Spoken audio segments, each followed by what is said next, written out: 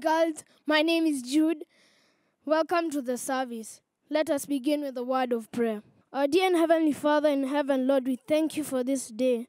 God, we are thanking you for this year that you have taken us through. God, we are praying for all those months that are left. God, may you take us through them. God, we are praying for those at home. May you protect them and continue to share your blessings, God. We are praying for all those who are have gotten COVID 19. God, may you restore them and gain back their health. In Jesus' name I pray. Amen. Welcome to the service. Yeah. Jumpstart 3. Galatians 5 22 and 23. But the fruit of the Spirit is. Love, joy, peace, patience, kindness, goodness, faithfulness, gentleness, and self-control. But the fruit of the Spirit is. Love, joy, peace, patience, kindness, goodness, faithfulness, gentleness, and self-control.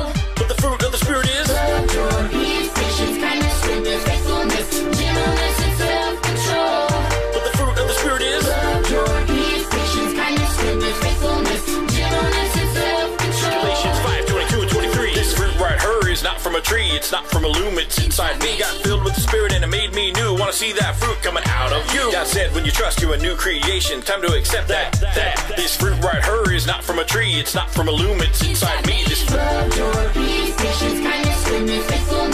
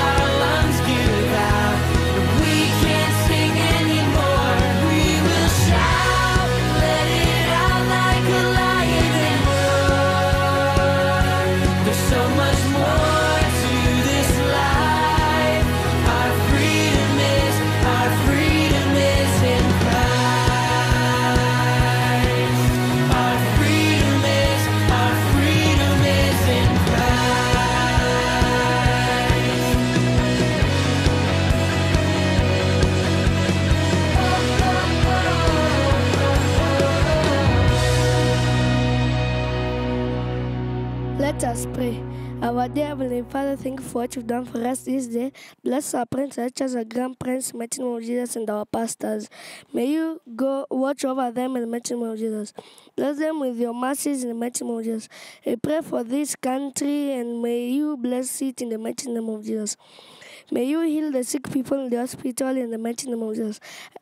May you give us wisdom, the mighty Jehovah, in the mighty name of Jesus. I pray that you may protect us this day in the mighty name of Jesus. For it is in Jesus' mighty name I pray, Amen. Good morning, boys and girls.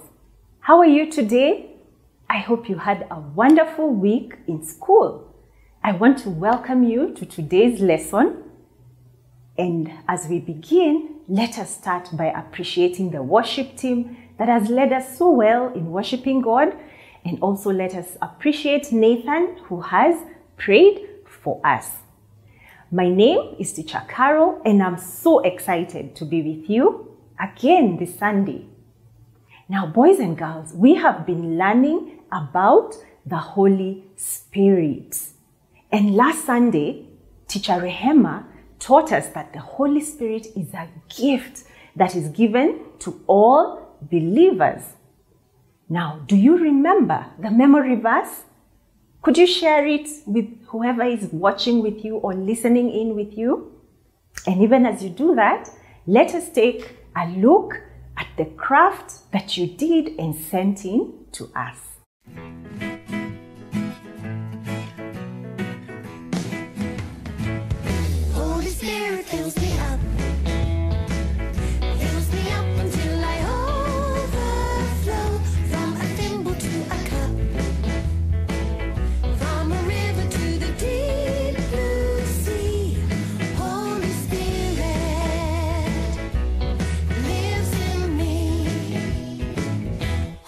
Spirit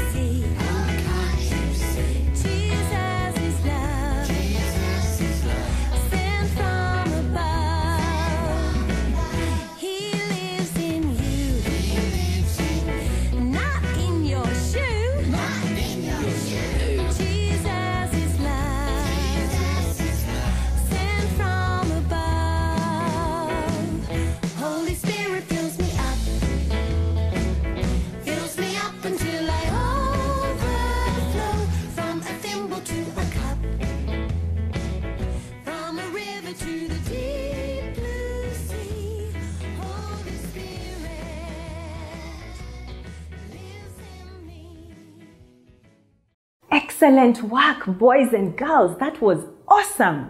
Please keep doing your work and remember to memorize the verse and hide God's word in your heart. Okay? So get your notebook ready, your Bible, your pen, and we can begin today's lesson together. I'd like to ask you something, boys and girls. Have you ever been tempted to sin or to do something that is wrong? Like stealing or telling a lie or disobeying your parents? A temptation or to be tempted means someone is trying to get you to do the wrong thing. Now, I have been tempted too many times. So, boys and girls, what can we do when Satan tempts us to sin? Today, we are going to learn that the Holy Spirit gives us power to say no to sin and to live a holy life. When we receive Jesus as our Lord and Savior, He forgives all our sins and we become the children of God.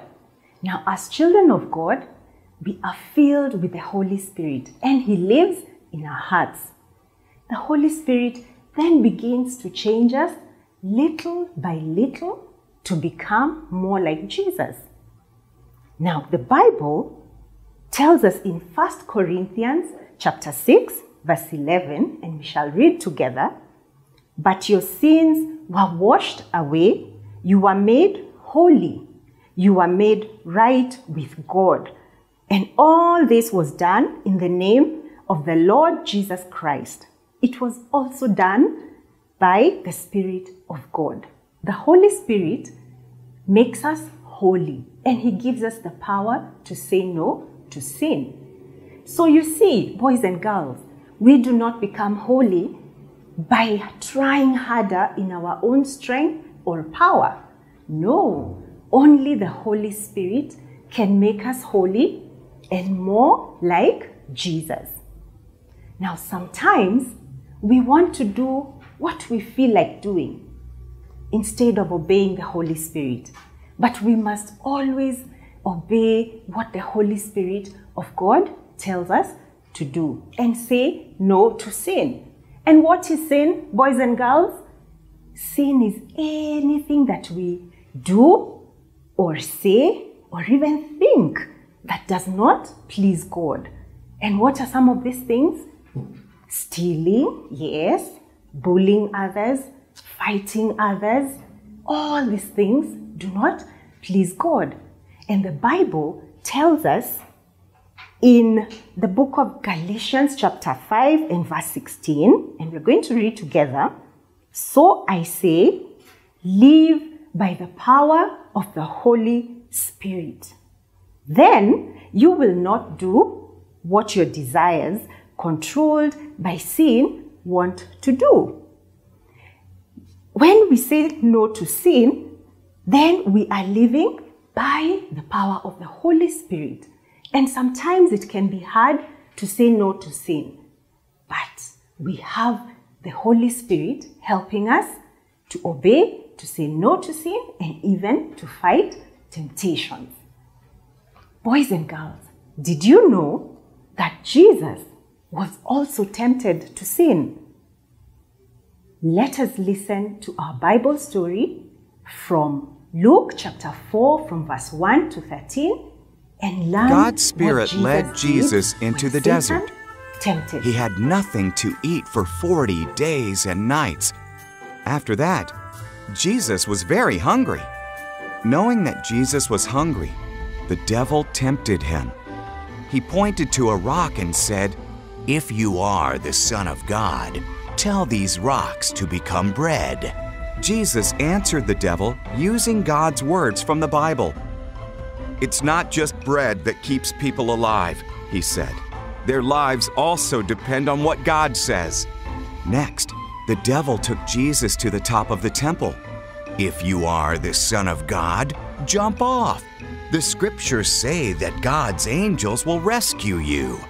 So Jesus used God's word to give his second answer. Do not put the Lord your God to the test, he said, quoting again from the Bible.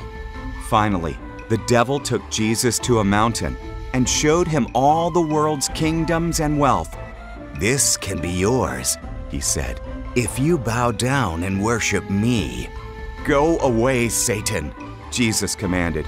Then he quoted God's word one more time For it is written, Worship the Lord your God and serve him only. As soon as Jesus said it, the devil left him.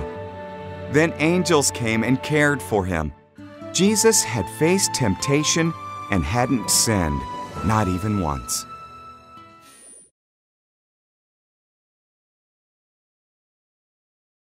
Boys and girls, did you see and hear what happened in the story? Jesus had just been baptized. In which river? Jordan. And he was full of the Spirit. Remember how the Spirit came on him in the form of a dove? Now, the Spirit, the Holy Spirit, led Jesus into the desert where he prayed and he fasted. He fasted for 40 long days. And at the end of those days, he was hungry. Can you imagine how hungry Jesus was? He was very hungry. And that's when Satan came and tried to tempt Jesus to sin. He tried to get Jesus to disobey God. How many times did Satan tempt Jesus? Yes, three times. And what did Jesus say to Satan? Each time, Jesus used God's words in the Bible to answer Satan. He did not do what Satan wanted him to do. He did not disobey God. Now, the Holy Spirit was with Jesus and he helped him. He reminded him God's words from the Bible. The Holy Spirit also gave Jesus the power to say no to temptation, no to sin, and Jesus defeated Satan. So we see that Jesus was tempted, just like we are. But Jesus never sinned, not even once. So Jesus is our perfect example of how we can live a holy life by the power of the Holy Spirit. Now, for us to be filled with the Holy Spirit, we must be children of God. And how do we become children of God? Yes, by trusting and believing in Jesus as our Lord and Savior and receiving Him in our hearts. Now, is there anyone who would like us to pray together so that you may receive Jesus in your heart and have the Holy Spirit living in you? If you'd like to receive Jesus, let us say this prayer together. Dear God, I am sorry for all my sins. I know that Jesus died on the cross to take away all my sins. Dear Lord, please forgive me and make me your child. Fill me now with the Holy Spirit. In Jesus' name, amen. Amen. If you've prayed that prayer, you are now a child of God, and the Holy Spirit comes and fills you and gives you power to live a holy life. And now that we have received Jesus and we have the Holy Spirit living in us, we must obey and trust Him always. We must obey the Holy Spirit. Remember, boys and girls, the Holy Spirit is God and He speaks to us through His Word, which is the Bible. So we must listen and obey and do everything that He tells us to do. And when we do that, He changes us little by little and we become more like Jesus. He changes our bad thoughts that we may have about others or mean thoughts, and He helps us to be kind and to be loving to others. He also changes the things that we do, how we behave, and He helps us to become more loving, more obedient, and even more patient with others instead of being rude or selfish or even jealous in how we deal with other people. So, boys and girls, how do we know that we are living a holy life? Yes, it's when we obey God and we say no to sin. And only the Holy Spirit living in us can give us the power to live this holy life and be more and more like Jesus. So, boys and girls, it's now time to learn our memory verse. Our memory verse is from Galatians chapter 5, verse 16. And the Bible says, So I say, live by the Holy Spirit's power, then you will not do what your desires, controlled by sin, want you to do. Can we say that again? Galatians chapter 5, verse 16. So I say, live by the Holy Spirit's power, then you will not do what your desires, controlled by sin, want you to do. Excellent job, boys and girls. And now it's time for our craft. You're going to need a piece of paper your pencils, some colored pencils for coloring, scissors, and a roll from an empty or finished roll of tissue, and some glue or Pritt stick. So I want you to draw a flame on this piece of paper. And when you're done, color it. And when you're done, take the roll from the finished tissue and cut. And then you take the flame that you already drew. We are going to use the flame to represent the power of the Holy Spirit. And then take this and use some glue or some Pritt and stick it at the back. I want to show you mine that I did earlier. So here we are. I wrote what our lesson was about. And this is my flame. And it reminds me of the power that I have to say no to sin, to say no to temptations, and to live a holy life. And here is our memory verse. Now, when you see the roll, uh, the, the finished roll of tissue at the back stack, I can use this to wear or to put on my hand. And there you go, you've got power to live a holy life. You can make two. And you'll remember that you have this power in your life. Okay, boys and girls? Well done. And now, boys and girls, we have come to the end of our lesson. But we will not end before we pray. We want to thank God and to ask for His help. So let us pray together. Our loving Father, we thank you for the gift of the Holy Spirit. We thank you that we who believe in Jesus are your children. Father, we pray that you would fill us with your, with your Holy Spirit and give us the power to live a holy life. Help us to be more loving, more patient, more faithful in all that we do. Help us, Lord, to be good and to have to be full of joy. Father, we ask that you'd guide us during the week and where, Father, we have not listened to the Holy Spirit, where we have not obeyed, Father, we pray that you would forgive us. We love you and we thank you. And we pray this in Jesus' name. Amen. Boys and girls, I have had such a wonderful time teaching you today. Now enjoy the song that is coming.